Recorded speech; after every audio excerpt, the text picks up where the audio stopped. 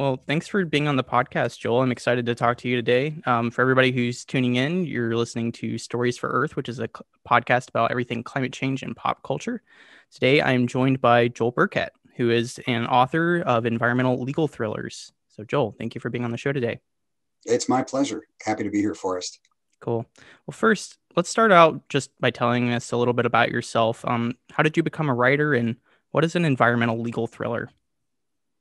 That's a great question. Um, I uh, I guess I always wrote. Uh, as long as I can remember, I was always writing, and uh, took some courses in writing uh, my first year or two at college, hmm. and then uh, I became in, interested in environmental law and started taking more and more environmental sciences courses, and eventually went on to become an environmental lawyer.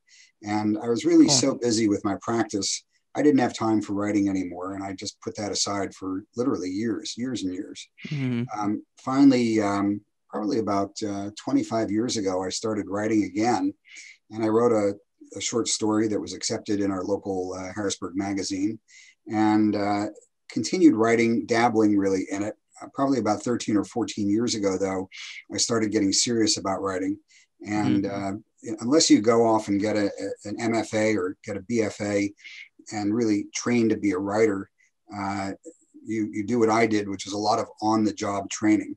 Yeah. So I, I, I really did, you know, just on the job training. I took a lot. Of, I mean, I wrote and wrote and wrote and wrote, probably have written at this point, I don't know, 30 or 35 short stories. And wow. I've completed six novels. And uh, although this is my second one to be published. Sure. And um, it's a, uh, I mean, I took classes, lots of classes, both uh, in person and virtual classes uh, joined a couple of organizations, and um, it's really just a question of right, right, right, and that's how I became a yeah. uh, that's how I became a writer. Now, as your other question mm-hmm. about um, environmental legal thrillers, uh, I'm an environmental lawyer. I've been interested in environmental issues for as long as I can remember, and so when I started uh, getting serious about writing novels, it seemed natural to me to write about environmental issues. I happen to like legal thrillers. Mm-hmm. So uh, I noticed that there weren't very many environmental legal thrillers out there. So I, I decided to fill the void and uh, I've been, I've now finished my second one and I've got a third one that's ready to come out too. Cool. Sounds like you're very prolific. Six novels and you said over 30 short stories. Yes, that's, that's wow. over, um, probably about a 13 or 14 year period. Mm-hmm. And uh, it's, it's like anything else, you, you sort of learn how to, um, you know, what the techniques are. And um, uh, if the story, if the story really, really wants to come out, it, it's actually a very easy thing for me anyway, and for other writers mm-hmm. to write it. I mean, if you're struggling with a story, it can take a very long time for it to come out. Or if you're very fussy and a perfectionist, it can take a long time for it to come out. I'm not yeah. saying that my stories aren't you know well written. I think they are. Yeah, mm-hmm. I, I, I agree. try not to let you know my desire for perfection get in the way with getting the words down on paper. But yeah, yeah I guess I, I, guess I'm pretty prolific. But uh, this is this is just my second novel coming out. Sure. Yeah, I am a writer myself too, so I definitely know what you're talking about when you're talking about perfectionism because that is one of my big hurdles with writing short stories as well. So, yeah, it is uh, definitely kind of a daily practice or a ritual. I think I've heard some people call it. So, yeah, it's getting words down on paper is what's important. You can always revise later. And as I've heard it before, also writing is revising. So, right. Yeah. I mean, Anne Lamott, who's a great writer and yeah. Mm-hmm. teacher, mm-hmm. has specifically talked about that and says that uh, perfectionism is the uh, basically the death of writing. So mm-hmm. she uh, very much urges people yeah. to just get your words down on paper. That's good. That's good. Cool. Well, it's interesting to hear how your background as an environmental lawyer has uh, had an impact on what kind of stories you write. But also, um, I read this New York Times opinion piece about you before our interview, uh, which was an opinion piece about um, blind authors. And uh, I think it, the interview was from July of 2019, which I almost said July of last year. It seems crazy that time has gone by that quickly. So I wanted to ask you in what ways has becoming legally blind affected you as a writer or has it affected you it has affected me uh, both good and bad um, the uh, i have a condition uh, which has a very long name. It's non-arteritic anterior ischemic optic neuropathy. That is And long. you know, if a condition has more than two words in it, it's it's not a good thing. right. And so what it is basically is if you can picture your eyeball, and this is the front of your eye, in the back of your eye, you've got the optic nerve that connects your Mhm. eyeball to your brain. Sure. So that's that string thing that that you've seen pictures of. right. And in my case, I had um, blood clots in the back of Mm. my eyeball, right in front of the optic nerve. Think of the optic nerve nerve as like a um, a fiber optic cable with Yeah. millions of, of of nerve fibers going through it.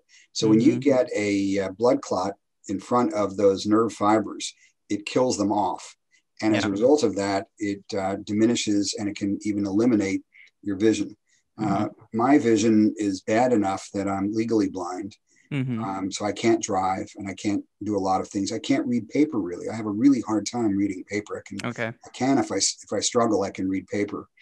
Um, but and there are a lot of other things that I, I just physically can't do anymore. One of the strange things is if somebody is more than about 10 feet away from me, I can't see their face, which is a Mhm. very, very bizarre thing. It's it's uh, it's it's very weird not to be able to see faces at about 10 I'm sure. feet. But um, in terms of my writing, um, I, I, I'm using right now, you can't see it, but I'm using right now a yard wide ultra high definition monitor. And Okay. that helps a lot. I blow the uh, font up very large so I can Mhm. read it. And fortunately for me, I'm able to see um, a screen. So I can read a screen, Okay. although I can't read paper. And, um, you know, the, the good news and the bad news is as a result of my uh, disability, I had to stop working. It was, you know, I was Okay. at a point in my career and in my life that uh, learning how to continue being a lawyer without the ability to do many of the things that I'd been able to do before was Mhm. probably going to take me a couple of years. And at the same time, I was a couple of years away from retirement. Sure. So I uh, chose to go on disability and retire. So I did retire uh, from the practice of law uh, about a month or two after I was afflicted with this. okay. And um, so now I'm able to write full time. I do use um, dictation software. I use Dragon dictation software, and that speeds things up for me a lot. I was never a good typist to start with, truth be told, but the the Dragon uh, software really does help a lot. That's so it, it's it's impacted me. Uh, it's made me a little less mobile. I mean, certainly the um, COVID has made everybody less mobile, Mhm. uh, but it really has impacted my ability to get around. And not being able to drive is a gigantic pain.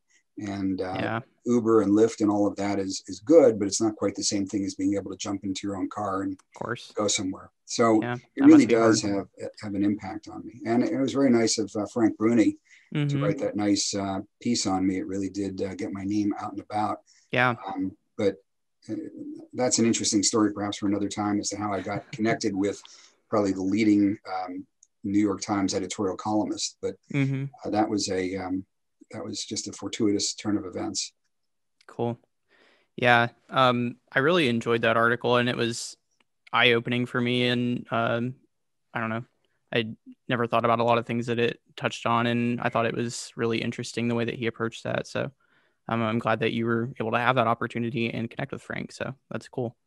Um, right now, I'm reading one of your novels, which is Amid Rage. Um, it follows a legal battle between a young attorney. I think he's probably about the same age as me, actually. Uh, he's a young, I think you say a Depp lawyer uh, named Mike Jacobs. At least that's the way the antagonist pronounces it, Depp. Um, DEP, DEP, DEP. everybody else calls it.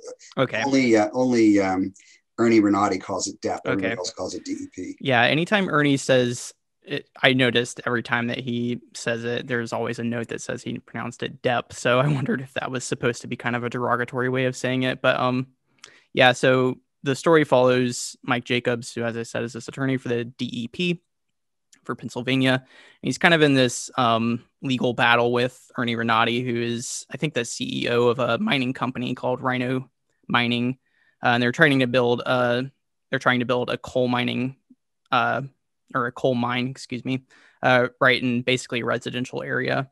Um, so I'm wondering, you know, you've worked for a very long time as an environmental lawyer. What was your inspiration for this novel? Does it have any kind of grounding in reality? I don't know if you're allowed to say that or not. um, And is there any connection between it and some of your other published novels? I think you have another book called Drink to Every Beast that might follow the same character. Yeah. Um, the um, let me start out by saying that everything that I've written is fiction. Okay. And um, so um, I know that people are going to read my stories and they're going to say, "Oh, I think I know this person," or "I think I know yeah. this character," or "I think I I know um, you know this this case." And although they may be inspired by uh, fiction or inspired by real, real life, mm-hmm. uh, they are fiction. I, okay. I, attended a really good program uh, that John Grisham, the very famous. Uh, thriller writer, wrote uh, gave. And uh, Grisham said that he scours the legal journals and he scours newspapers for inspiration for his stories. And that's where mm. he gets the ideas for a lot of his stories. And I do basically the same thing. And I okay. also use my experiences. Uh, even even the use of the term DEP. I had a client yeah. who used to refer. I, I couldn't figure out for the longest time what he was saying because he was saying, "Oh, Depp is doing this to me," and Depp is, and I'm thinking to myself, "What the heck's he talking about?" And then I realized yeah. he was he was he was putting the letters DEP together and referring to it as Depp. Okay, gotcha. Um, but um, he's the only one I ever knew who did that, but I, I like that. And I just sort of tucked it away back here yeah. to use at a later point in time.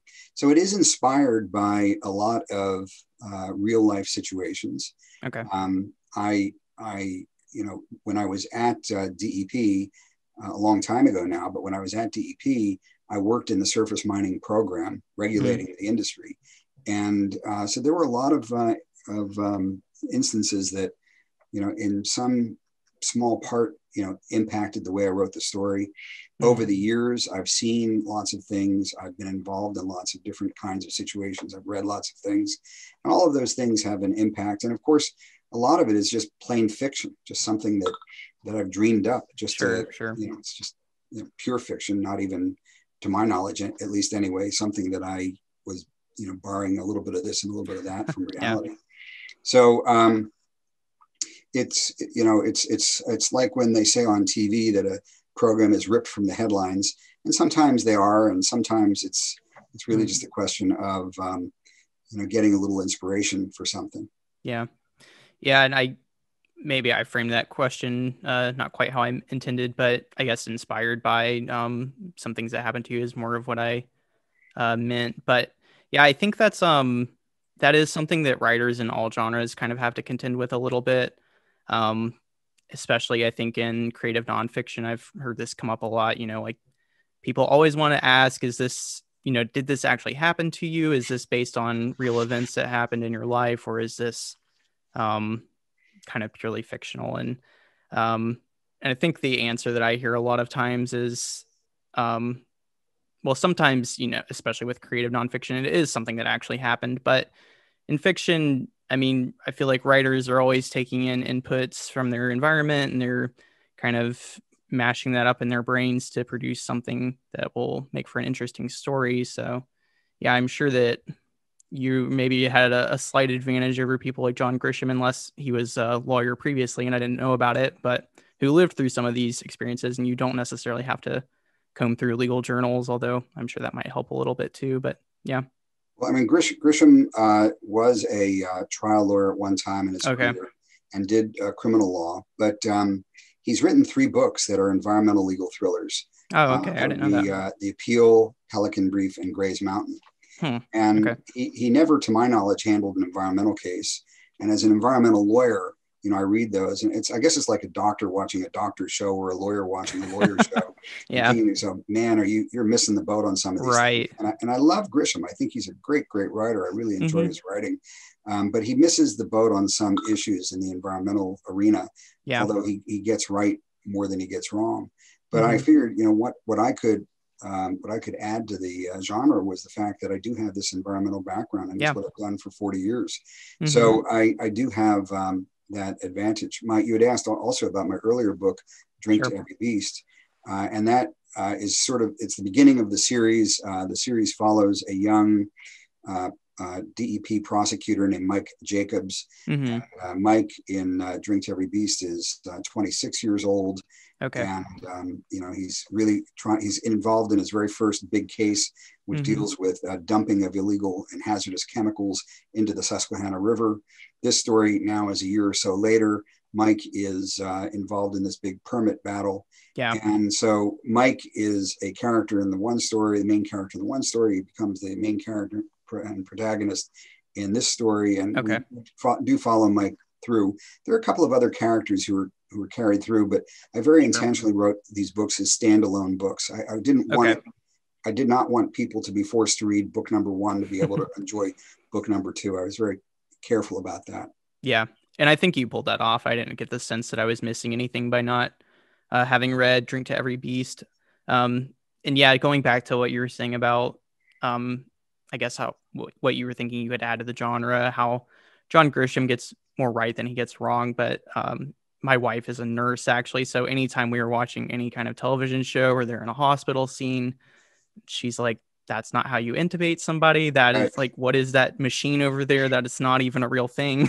Right, right. yeah so that's not how you put a ventilator on somebody um so I imagine it's probably a similar situation with legal thrillers where um you know there are a lot of details that you know if um probably to a, a lay person who's reading it like myself i probably would not know the difference if you know they did make some kind of misstep like that but sure it's probably frustrating for attorneys to read stuff like that when you know there are some mistakes so um I and I can I can see that in your writing too as I'm reading it. It is so detailed and uh, there are so many just the way that you write it and the jargon you use and the way that sentences are phrased. I can tell that like you've actually been there and it does make a big difference to the reader too, even though I am not as knowledgeable about you know how a court proceeding works or you know how a zoning battle might go. Um, I can tell that this is more realistic than maybe some of the other uh, books I've read where there are legal scenes.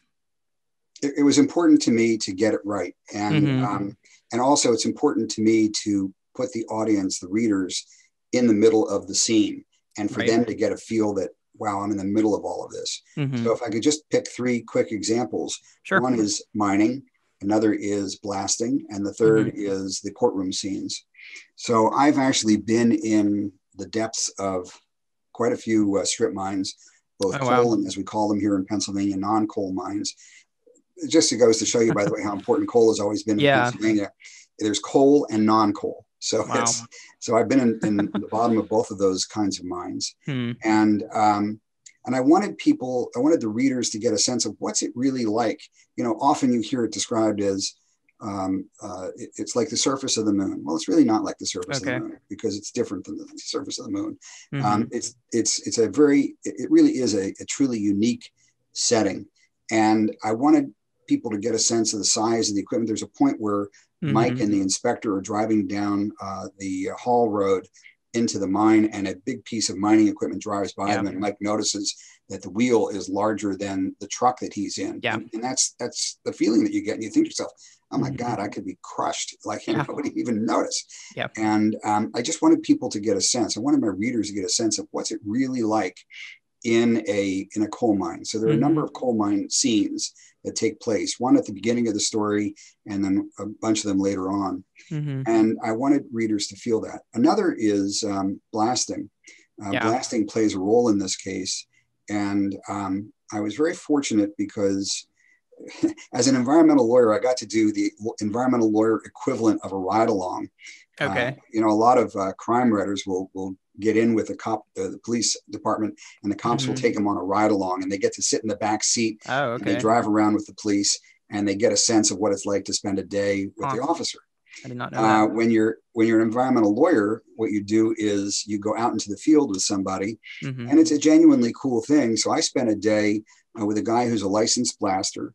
He Mhm. took me to a uh, non-coal mine, as we call Mm-hmm. it in Pennsylvania, and uh, the he showed me exactly what happens when they're loading the borehole full of ANFO, which is ammonium nitrate and fuel oil. Okay. How, how they load it with ANFO and the work that they have to do and how difficult it is, and how really how backbreaking the work is. It's very very Yeah. difficult, hard work, and it's mental. I mean, it really requires Mm. a lot of expertise to be able to do it.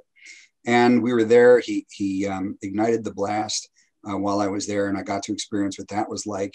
Mm. And um, it's you know it's it's a unique experience, and I was able to um, put some of that into the story.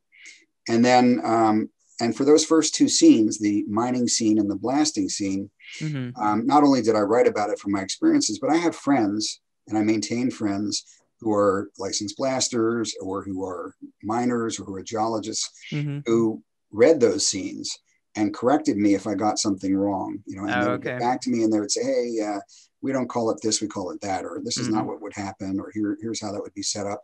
Because again, I wanted the readers to get a real, genuine uh, experience of what mm-hmm. it was mm-hmm. like doing these things. And then finally, the legal scenes. Um, there are a number of scenes. There's one towards the beginning of the story uh, where Mike is being very clever and is uh, getting the best of a of a mine operator. Yeah. And uh, later on in the story, uh, there is a very uh, detailed account of a trial that takes place uh, with Rhino Mining Company. Mm-hmm. And I I sat down and I took out a legal pad and I wrote out questions exactly the way I would have written them out if I were the lawyer yeah. examining the witness. And I did that precisely the same way I would have done it. And then I tried to imagine what the responses would be. And I also know from my experience as a lawyer that no matter how well you plan, you know, the, the witness is going to go in a different direction. The witness is not going to answer the question. Yeah. The witness is going to um, uh, take it in a different direction. And then you've got to pull the witness back. And so I wanted, again, I wanted the readers to get a sense of what actually goes on in these proceedings. Now, I will mm-hmm. say that um, administrative law proceedings, environmental law proceedings tend to be dreadfully boring.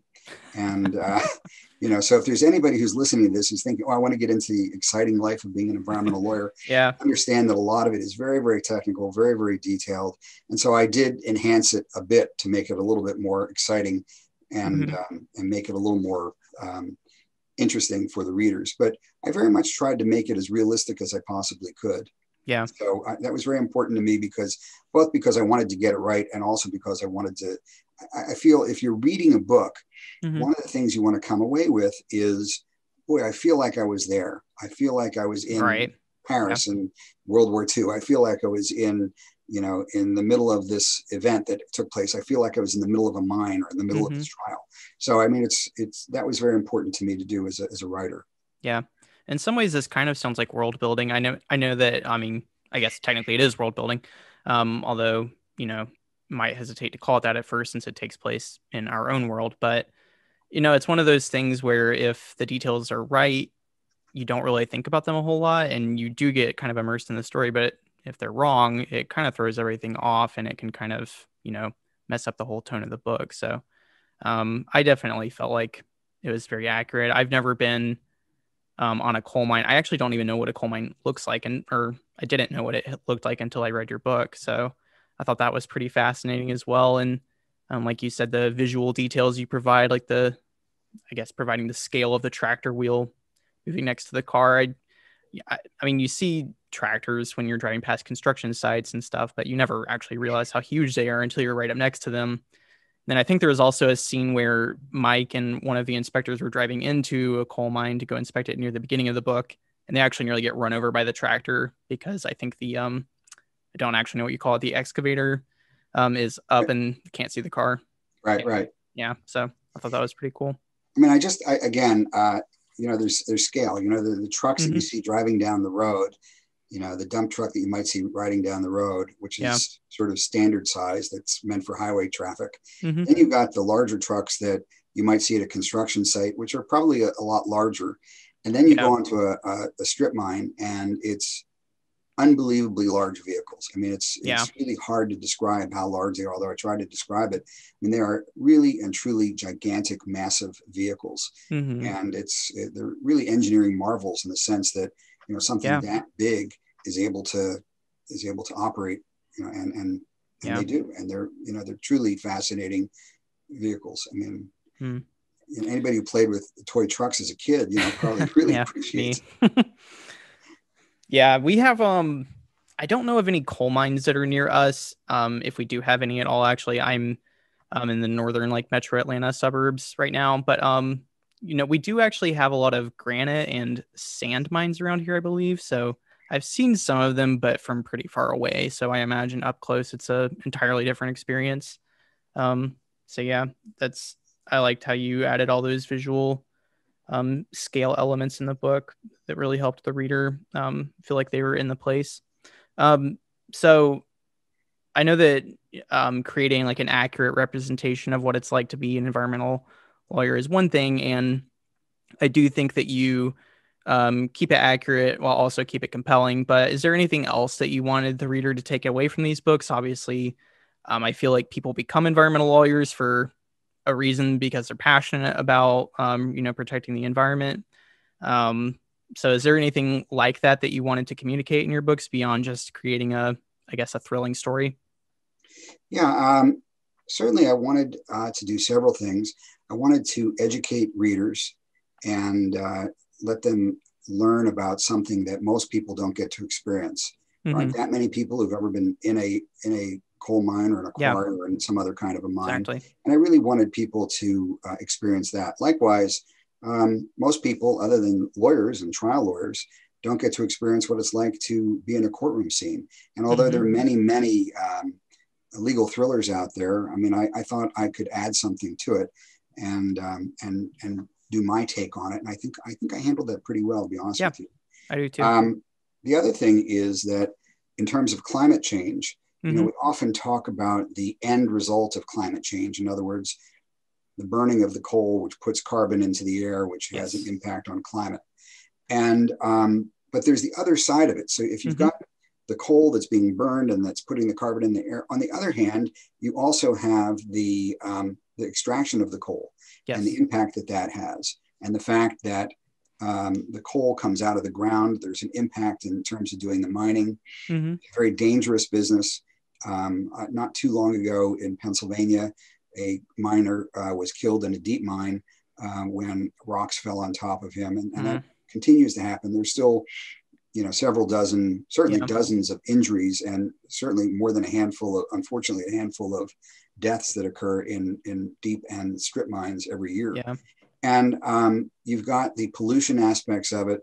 Uh, today, I would say um, the due to the highly regulated nature of mining industry, it's uh, less likely that there will be significant pollution occurring from modern mines. Mm-hmm. But certainly, if you go back just a few years, certainly a few decades, you're going to find a lot of pollution that occurred yeah. as a result of mining. And um, I was looking up the statistics uh, before we uh, met today. Mm-hmm. And um, what's really interesting is sad, really, is that um, Pennsylvania, we have um, something in the magnitude of, um, there it is, uh, 54,000 to 86,000, depending upon who you um, ask, uh, miles of stream in Pennsylvania.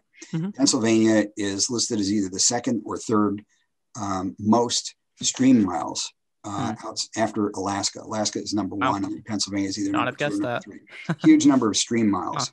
And in Pennsylvania, there are 2,400 miles that are polluted by uh, coal mining pollution. Oh my gosh. And, um, and that pollution I'm going to say 99.9% of it is probably pollution that occurred, you know, years ago, and that mm-hmm. will go mm-hmm. on for as long as we're all alive because uh, the mines are abandoned, yeah, um, or they were inadequately uh, reclaimed, and as a result of that, you've got chemicals that go into the uh, into the streams that kill the streams. Mm-hmm. You have something called acid mine drainage that goes into the stream okay. and will kill the stream.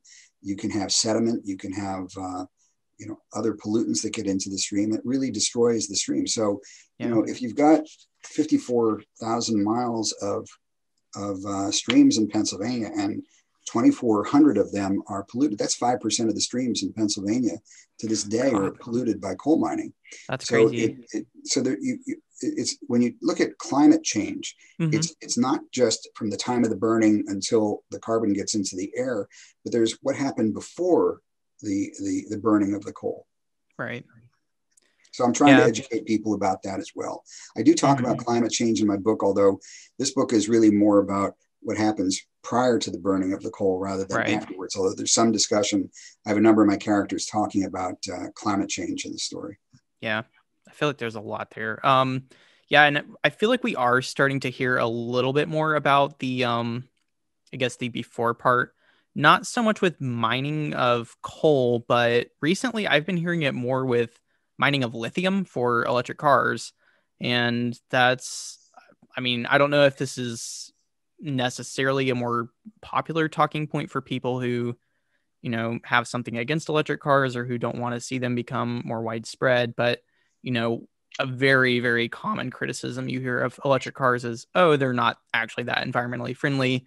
There is a very dirty mining process that goes into extracting the lithium that you need to make lithium ion batteries, which power the cars. So, um, but you don't really hear that that much about coal, and maybe that's because coal is, um, knock on wood, starting to kind of go away a little bit more as a energy source in the United States. But I mean, just what you were mentioning there, I mean, you have like the impacts on the streams, which I know is a really big theme in your book Amid Rage. Um, I think that's one of Mike Jacobs' big concerns is that um, in addition to the mine being in a residential area, that where they are planning to build the mine is going to really badly pollute the stream that's nearby.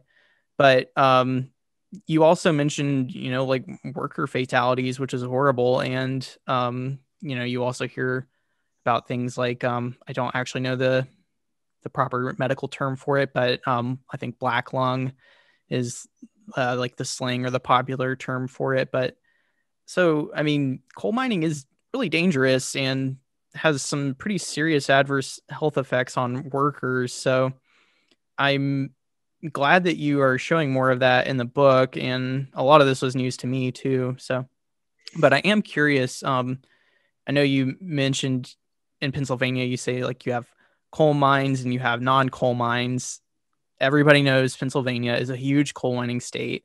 Um, what do you see as a future for Pennsylvania now that um, coal is, like I was saying, becoming less of a fuel source um, for powering, you know, the grid? Yeah, I, I actually looked up the statistics from the mm-hmm. uh, Energy uh, Information Administration. So back in um, 2010, yeah, uh, coal accounted for 48% of the electricity in Pennsylvania. Wow. And natural gas accounted for uh, 15%. Mm-hmm. In 2019, the last year for which they had statistics, coal accounted for 17% of oh electricity gosh. generation, and natural gas was 43%. That's a so huge coal difference. is diminishing uh, year by year.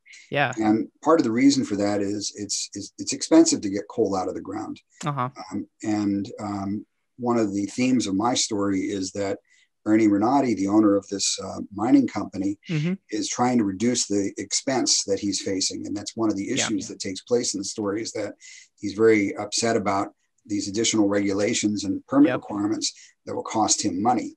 Mm-hmm. Um, but the reality of it is that uh, probably the biggest impact today on both coal and also on um, nuclear mm-hmm. is uh, natural gas. Natural gas has become incredibly cheap, especially yeah. in Pennsylvania and in other states near yep. Pennsylvania. So, as the price of natural gas has gone down, the use of natural gas as a fuel has gone up.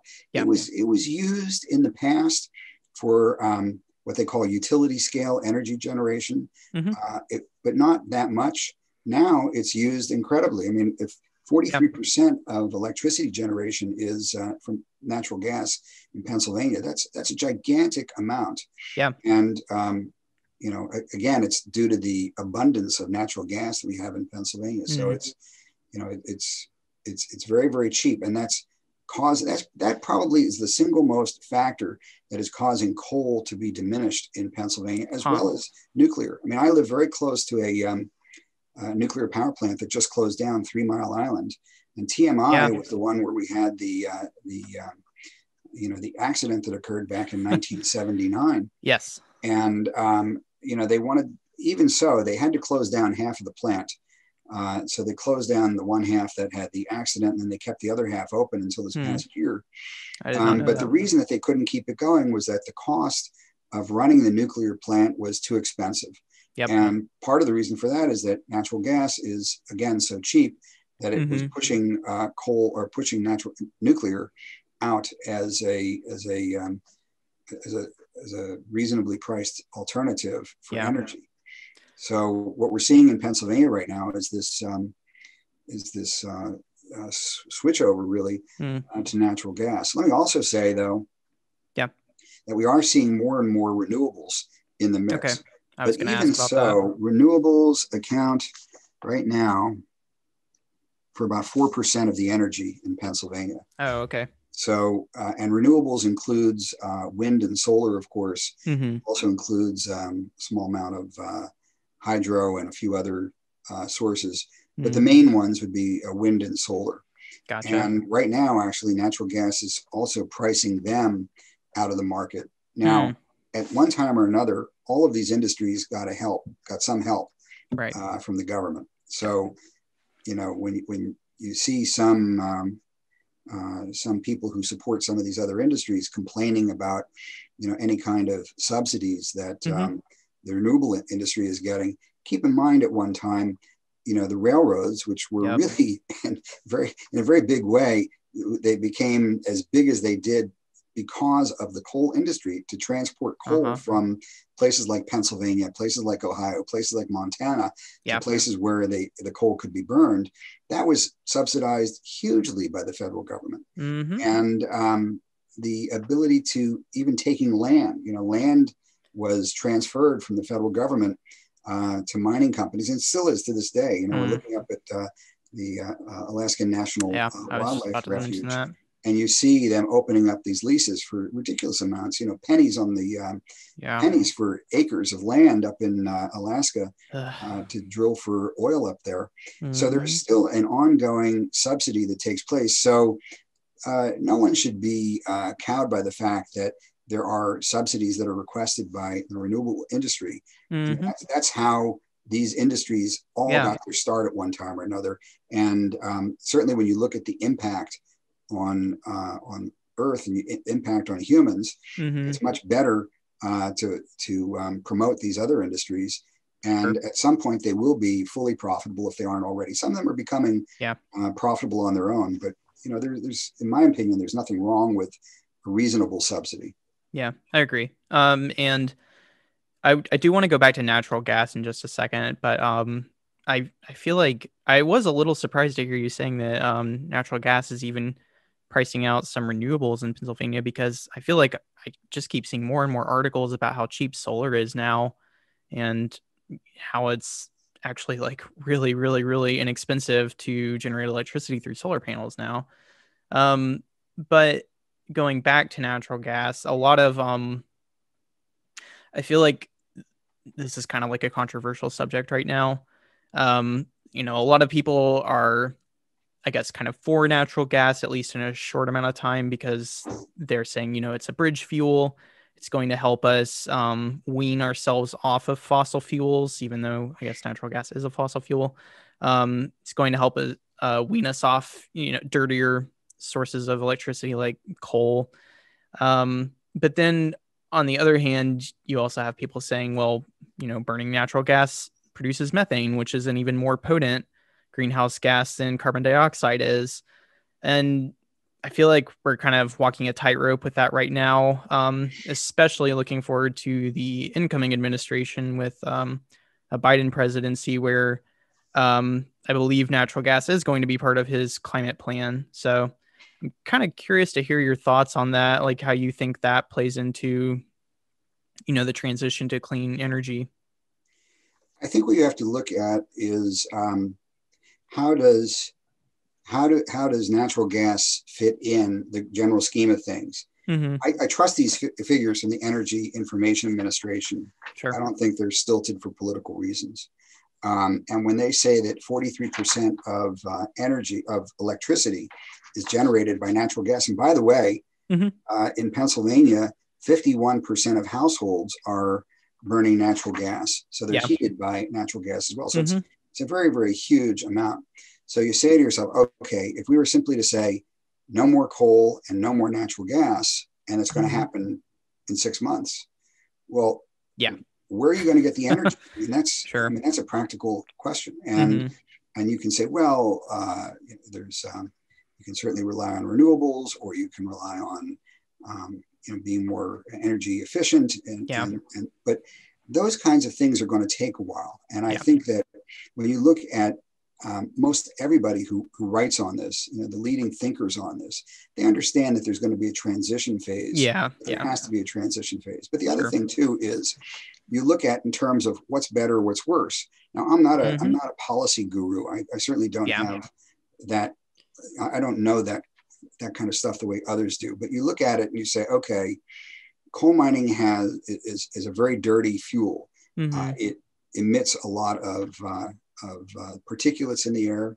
It emits uh, a lot of uh, carbon in the air, Mhm. and it has terrible effects so far as the mining process is concerned. right. So if you look at that and you say, well, how, how does natural gas fit in with respect to coal? Hmm I mean, it's it's it's it is sort of an either or situation Yeah. because it's it's going to be either one or the other. And what we're seeing is that as people are becoming more energy efficient, as- Mhm. as our society is becoming more energy efficient, and as coal is diminishing as a fuel in the United States, it is making a difference.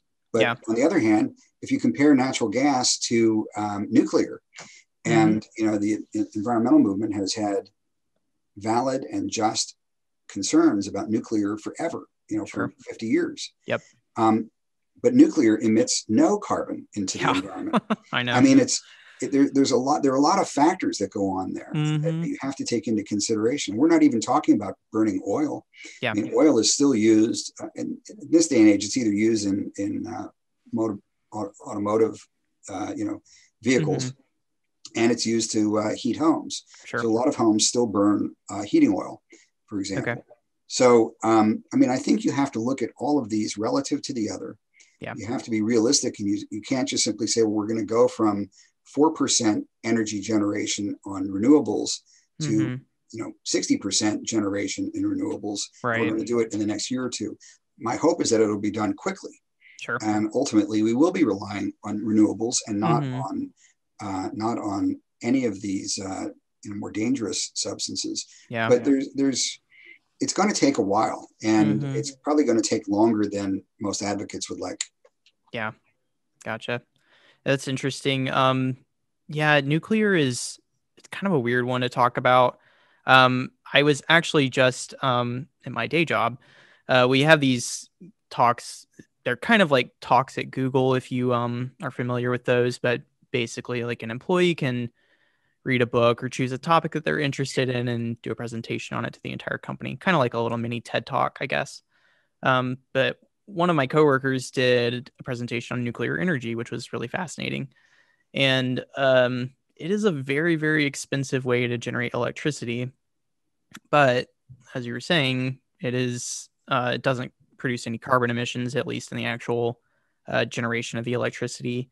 Um, I mean, you have other things that go into that process, you know, like building the reactors and um, believe it takes a tremendous amount of concrete to build, which uh, produces a lot of uh, greenhouse gases as well. But yeah, I, I don't know. I, I'm also I'm always kind of wondering if that was a really big missed opportunity to produce more nuclear energy, and you know now we're having to rely on things like natural gas, which is a good thing that it's weaning us off of coal. But kind of wondering if you know we would have been better served to have invested more heavily in nuclear in the past, even though it was pretty expensive. And I'm sure there's a lot of reasons why that didn't happen. I know that the uh, the fossil fuel industry in particular didn't really, or I guess they were concerned about competition from nuclear energy, and there was probably a little bit of lobbying that went on there in public relations campaigns. But yeah, it's a that's a weird one. Well, nuclear is also dangerous, and Yes, yeah. um, I mean, you mentioned Three Mile Island. I mean, Three Mile Island, Island was the Uh-huh. worst that we had in the United States, but in Japan, about ten years ago, you had Yeah, Fukushima. accident. The Fukushima accident was terrible, and they still don't even know the extent of Yep. what happened there because they can't get equipment in there, and it continues to this day to be a problem. And people Uh-huh. are going to be affected by that for decades to come. And of Yeah. course, um, the accident that occurred in Ukraine, um, Yep. you know, a number of years ago.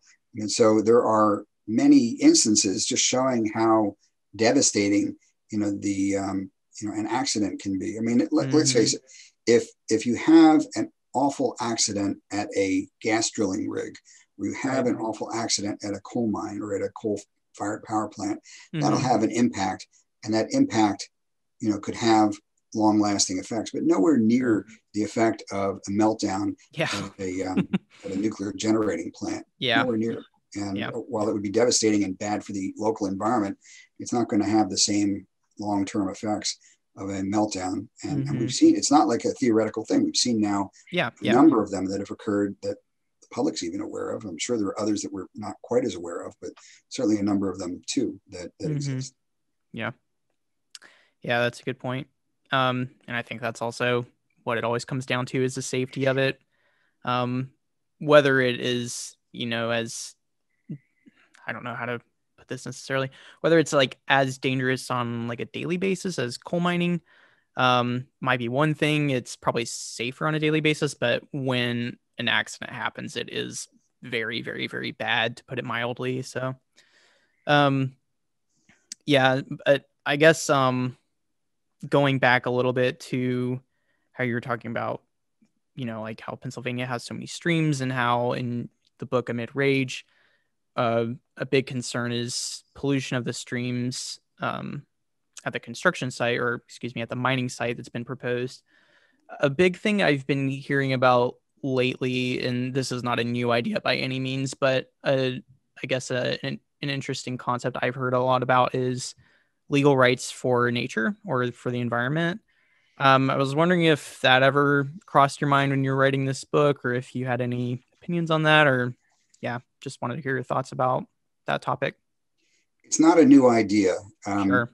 Back in 1972, um, the uh, um, there was an article that was written in the um, University of uh, Southern California Law Review Mhm. by an author named um, Christopher Stone, and he's a he was a law professor at the time, and he wrote an article called "Should Trees Have Standing?" Yeah. and the um, article was picked up uh, literally days or weeks later uh, by Justice uh, Douglas, hmm uh, who uh, was an interesting uh, Supreme Court justice in his own right. But William O. Douglas picked it up, and he actually turned it largely into a, a dissent in the Hmm. famous Sierra Club v. Morton case, Okay. dealing with uh, the um, potential um, development of a very pristine uh, uh, valley in the uh, Sierra Nevada Mhm. mountains.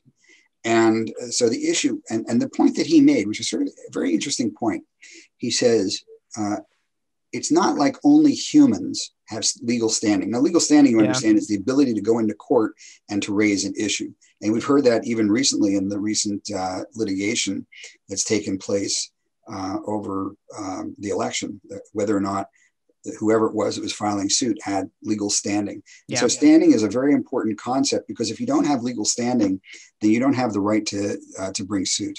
hmm And um, what Douglas pointed out in his dissent was that um, that corporations, which are not human beings, have standing, and corporations Okay. can they're considered people under Yeah. the law for Mhm. standing purposes. And he also points out that in admiralty, ships have standing. Okay. So a, a vessel itself has standing to bring suit or to be sued. So uh, in terms of, uh, of standing and in terms of whether a thing is an object Mhm. versus a human being, you know, the, the precedent is already out there. Douglas said in his dissent, uh, the precedent's already out there so that it's not absolutely necessary that you have to be a human being who's been affected. Yeah. If you could, if you, in his more fanciful uh, jargon, if, if a tree could have, if a human could have standing because the human is impacted by some activity, Mhm. and why not a tree, which is going to likewise be affected?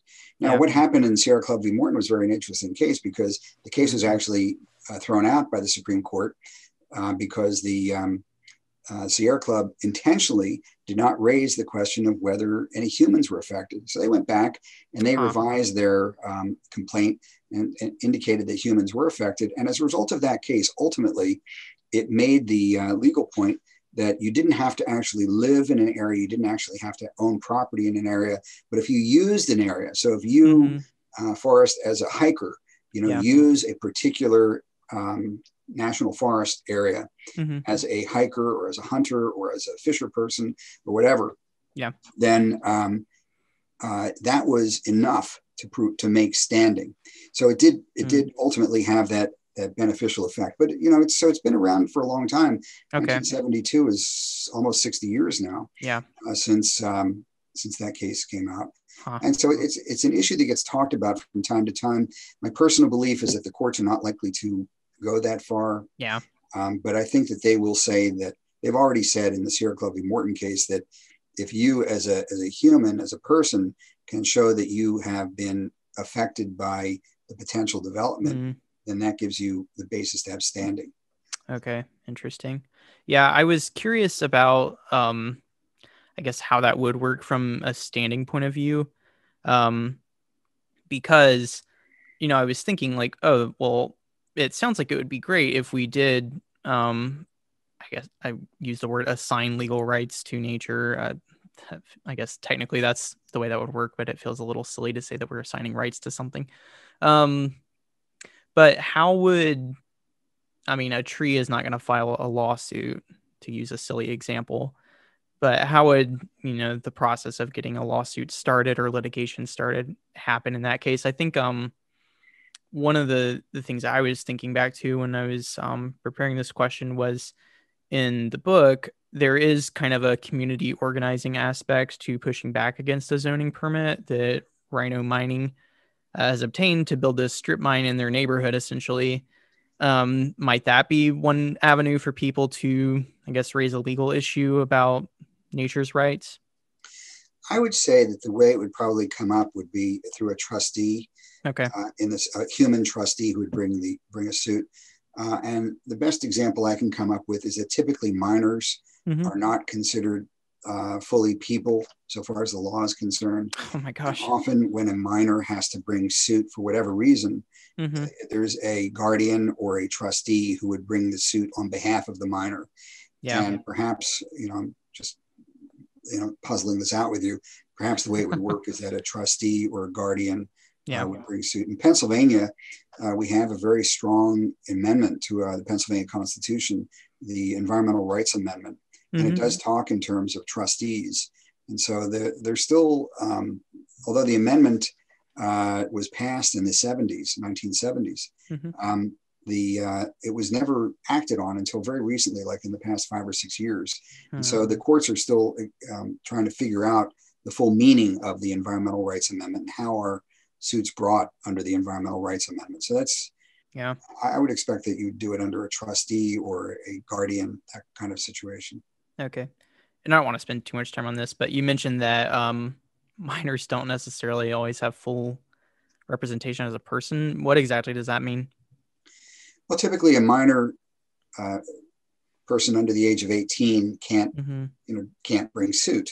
I mean, oh, I'm sorry, know, I misunderstood you. I thought you meant minor as in a coal miner. Oh, coal not... miner. No, no, I mean like a like a three year old. Yeah, three year old is not a three year old may be you know adversely affected by something, but a three year old can't bring a okay. lawsuit. So typically, a guardian would bring the suit on behalf of the three year old. That makes yeah. a lot more sense. Right. Okay, not M I N E R, but M I N O R. I was like, oh my gosh, I didn't realize things were that bad. oh my gosh, that's funny. Um, okay, yeah, I had I guess another question about well, all these questions really are about how um the law and environmentalism intersect, but um I feel like the law is going to be a very important piece of combating climate change. And um, you know, we have situations where like Massachusetts has, I believe they sued Exxon ExxonMobil for essentially deceiving stakeholders or excuse me, shareholders about the effects that burning fossil fuels could have um, in worsening climate change. Um, I guess, what do you think your role, uh, or how do you see the role of law in um, mitigating climate change? And is there anything that your books do to talk about that?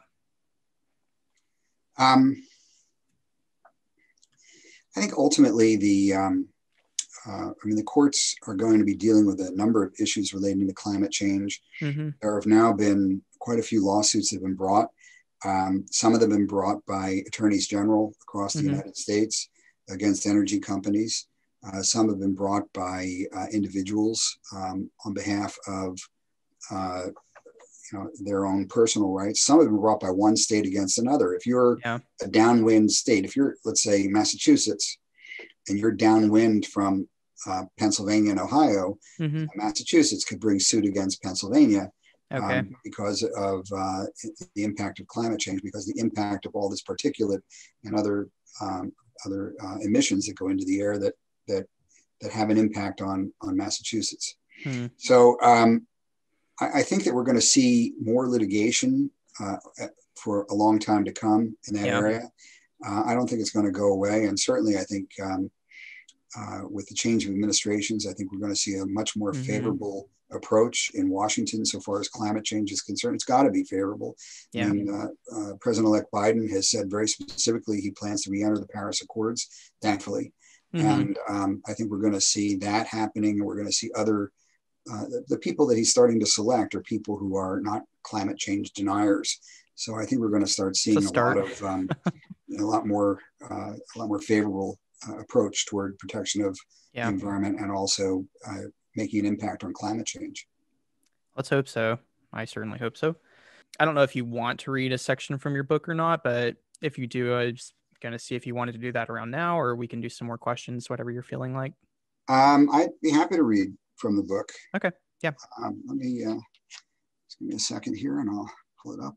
Okay. Like I said, unfortunately, I, I'm I can't read my own book, so I've got to read it mm-hmm. on the screen. Okay. But here we go. I do have it.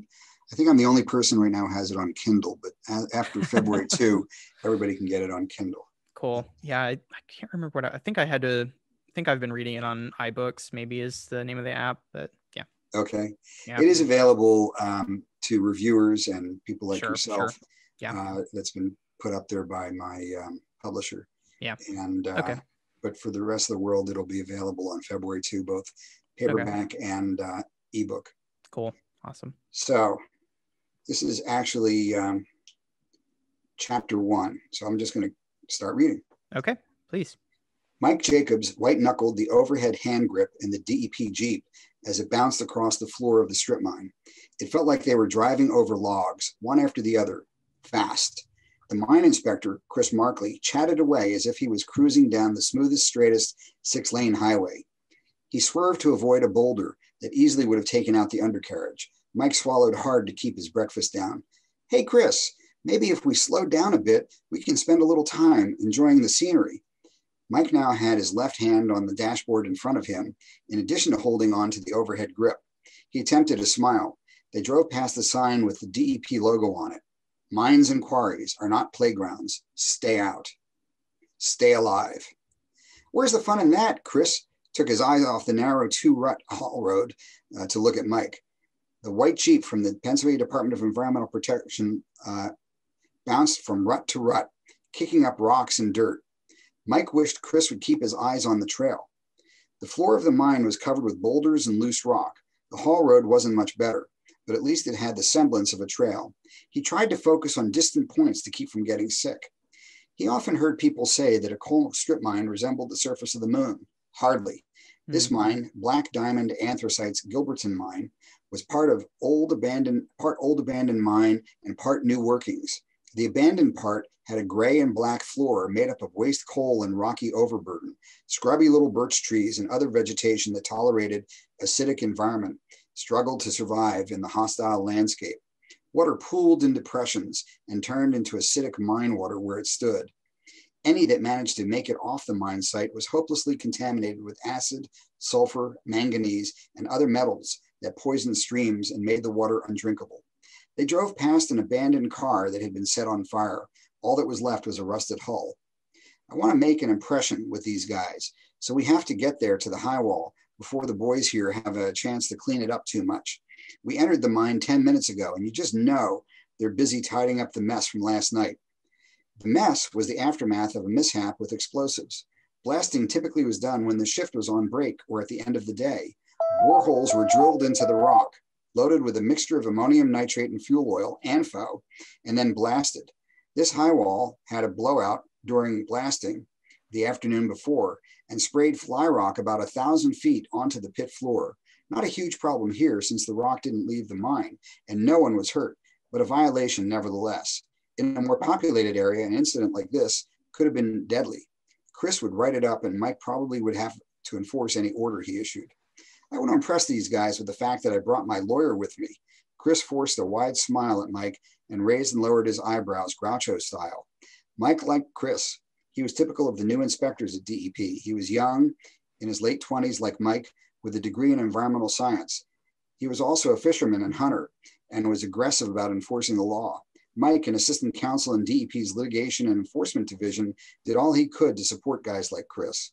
What can you tell me about them? Mike said as he tried to distract himself from the constant rumbling in his stomach. Not too often awful. These guys have a couple of strippings all in Schuylkill County, like this one, nothing underground, maybe five, 10 men at each site, a couple of violations a year, nothing terrible. The foreman for this mine, Kevin Schultz, is an asshole. Me and Schultz never see eye to eye. He won't be too happy to see us. And you heard about the fly rock incident. How? Mike eased his grip on the overhead as the haul road flattened out. The only thing better than a disgruntled former employee is a disgruntled current employee. Got a call on my cell last night and called you right away. I'm glad you were available to come up here first thing this morning. They drove past a line of derelict mining equipment, standing alongside one another like in some kind of apocalyptic movie parking lot. They had been ravaged for their spare parts, their bodies turned into rust and their guts spilling onto the mine floor. Mike wondered if there were any DEP Jeeps among the junkers. The Jeep rounded an unmined outcrop. Right in front of them, no more than 50 feet away, was a D10 dozer, yellow, covered with dirt and coal dust, billowing diesel smoke from its single stack. Not the biggest dozer on the market, but significantly bigger than the Jeep. Right in the middle of the haul road, huge yellow blade at eye level, coming straight at them, fast. Chris stomped on the brake. The outcrop they were driving around prevented them from veering to the left. Huge boulders and junk trucks prevented them from turning to the right. The Jeep skidded to a stop, sliding sideways like it was on ice. The dozer kept coming. Hold on. Chris popped the Jeep into reverse, and Mike looked over his shoulder. Directly behind them was a gigantic Deere 944 front end loader, bucket at window height, bearing down on them. They were trapped. Oh, crap. Chris stomped on the brake, and the Jeep skidded backwards as the loader closed in on them from behind and the dozer from in front. Ambushed, they'd be sandwiched between the two gigantic machines, crushed decapitated by those blades, death in front and behind. Mike had to find a way out. There, he pointed. The outcrop had an opening, hard to, hard to the left, a few inches wider than the Jeep. Chris stepped on the gas and they fishtailed into the narrow opening just as the loader flew by. He stomped on the brake again at the end of the narrow pass, and the clash of steel on steel crashing together behind them sounded like two locomotives in a head on collision. Mike and Chris said nothing for several seconds, Chris's hands still on the wheel, knuckles white from the tension. The Jeep idled in the small hollow of the rock. The exhaust rose in the cold morning air. What the hell, Mike said. They climbed out and had no more than six inches of on either side until they hit rock. Mike squeezed past the sides of the Jeep. His, his back caught on the rock wall and front of his jacket slid along the vehicle. Mike and Chris slowly approached the one opening in the rock. The dozer and loader were gunning their engines, and the beep, beep, beep of reverse gears pierced through the growling noise. Mike poked his head out from within the outcrop. In a flash, he saw a single yellow smudge in the corner of his eye and heard the growl of the engine. His hand flew to Chris and he pulled him back as the loader sped by them, inches away. Mike was shocked. Instead of a deadly crash, the dozer was backing away as fast as it had approached. The loader made a wide U turn around the junk trucks and headed back toward them. Mike and Chris looked at each other. What the hell, said Mike.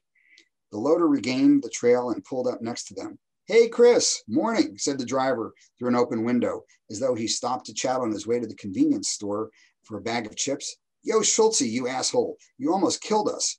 Chris shook his fist angrily at the foreman. Schultze laughed a hearty laugh. Hey, boys, couldn't see you over the blade of that in that little Jeep. A mine's a dangerous place. You know what the sign says stay out, stay alive. You come onto a mine anywheres, and you have to be careful. This is our turf. Be a little more careful next time. Watch yourselves. Schultze laughed heartily and gunned the motor. The loader rumbled down the haul road. The bucket wasn't even dented. Two hours later, Mike sat in his car scrolling through his emails. Junk mail. Circular from DEP benefits office. Nothing important. Then an email from Roger Alden, his boss. Mike, are you done playing yet in Gilberton? Don't you have a trial day after tomorrow you should be getting ready for? New case just came in. Ever hear of rhino mining? Out west, Somerset County. See me as soon as the trial is done. Thanks, Roger. Awesome. Thank you very much, Joel. That was uh, chapter one from Amid Rage, right? Yes. Cool. Yeah, and I think that was the scene that I was referencing earlier with the tractor nearly running them over in the Jeep. So that was quite a, a mental image. Um, yeah, following up on that, um, one thought I had when I was reading the first chapter, actually, I know that the book is it's about this legal battle between the owner of this mining company, Rhino Mining, and Mike Jacobs, who works for the state of Pennsylvania. Um, and Renati, the owner of the mining company, Rhino Mining, he's just an asshole. and uh, I think you do a pretty good job of conveying that.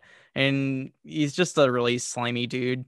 But um, I'm curious. I um, I don't necessarily think that you were trying to, you know, paint the entire industry in that light by any means. But I was wondering, um, about maybe some of the good people who work in mining and um, I I mean obviously you mentioned in the book too that there are plenty of mines that you know do abide by the regulations and you know they just see it as part of doing the job and they don't really cause any trouble but then there are these you know people like Ernie Renati who do cause a lot of trouble and um, do things like hopefully I'm not spoiling anything but you know kill inspectors and stuff like that so I don't know if you have any thoughts on, I guess, the good actors in the mining industry. And let me be really clear about it. Mm-hmm. The vast majority of people in the mining industry are good people. Yeah. Uh, they're working at a very highly regulated, in a very highly regulated industry. Uh, they believe that uh, that um, mining is a very good thing to do uh, in general. Mm-hmm. Uh, they they think that uh, what they're doing is they're providing a very valuable resource, coal, yeah. that does several things for all of us. It provides electricity. Uh, it provides a, a huge um, uh, product that gets sold around the world, mm-hmm. and that helps our economy. And it provides jobs, and, uh, and yeah. today it can be done very safely. So mm-hmm. the vast majority of them are doing that, and I say that in the, in the book as well. Yeah, Although, of course, the story focuses on uh, Rhino Mining Company, mm-hmm. which I describe as the worst company in Pennsylvania. and there's, you know, there's always got to be a, a, best company and a worst company. Yeah, so we're, exactly. We're, wouldn't be any fun if I wrote a story about a company that complied with all the regulations and that, you know did everything it was supposed to do and had yeah, of course involved in it. Yes. So this is about the other end of the spectrum. Mm-hmm. So the mm-hmm. vast majority of people who work in the mining industry are very hardworking people. Mm-hmm. Uh, it's a it's a very very tough industry. Yeah, and um, it's it's it's not it's not the kind of work that most people would want to do because it is so so so difficult and dangerous and uncomfortable. I mean, mm-hmm. they work you know they work uh, in January, February, March when there can be snow on the ground and, and yeah. when it's uh, five degrees outside, they're working and uh, they work when it's 100 degrees outside. So it's yep. it's a very uh, difficult job that that probably not too many people uh, could do. Mm-hmm. So um, the other thing too is, um, like so many other industries, it's a very highly regulated industry, mm-hmm. and uh, there are many many regulations on the books that they have to comply with. I mean everything from uh, how big their sign has to be in front and what has to be on the sign to mm. how they how they uh, isolate the various uh, the, the topsoil from the subsoil from the acid bearing rock you know very complicated and tricky things that they have to do how they hmm. have to in the permitting process uh, avoid uh, streams and certainly avoid perennial and intermittent streams and I mean, these are all very complicated, highly regulated things that they do. Yeah. So it's, it is a very highly regulated industry, like so many other industries. Mm-hmm. And it's, it's, it's, it's not an easy industry. The question is whether yeah. on balance in, this day and age, whether on balance that industry um, uh, should continue uh, yeah. uh, when you consider the impact uh, both to the environment where the mining is taking place, as well as in terms of climate change. Yeah. Yeah, I'm glad you said that. And I guess part of my reason in asking that question was to highlight the point that in your book you do take care to mention that not every mining company is a bad company. Um, like you said, in every industry there are good and bad actors, and perhaps some industries are are uh, the proportion of bad actors to good actors might be a little bit higher than in others, but or maybe you just hear about it more. But um, I guess part of the reason I was also asking the question is because um, you hear a lot about, especially in perhaps more like um, progressive circles, about the need for um, a just transition to clean energy economy. And I know that a lot of um, the proponents for a Green New Deal, that is a pretty central component to what they're trying to accomplish with a Green New Deal. Um, I was wondering if you had any thoughts on what a just transition might look like and what that really means. Well, it's it's it's not an there, there's not an easy answer to that question. I mean, you can certainly say tomorrow we're going to stop using coal. You could say yeah. that, but where are you going to make up the um, the loss of that electricity? Mm-hmm. Where does that come from? It you know there's going to have to be a transition. Yeah. Until you get to a point where you're not relying on coal or oil or even natural gas. I mean, that, mm-hmm. there's a mm-hmm. transition that's going to have to take place and it's and it's not just simply a question of saying, well, uh, it's going to take us this long to retrain these these workers so that they can be doing something else. It's yeah. it's where how are you going to make up the energy? I'm I'm not smart enough to figure out how we make up the energy. sure. I just don't know. I mean, yeah. how do how do you make up the energy loss that's going to take place? Mm-hmm. Not to mention, how do you make up the jobs? How do you avoid uh, devastating the economy of these yeah. areas?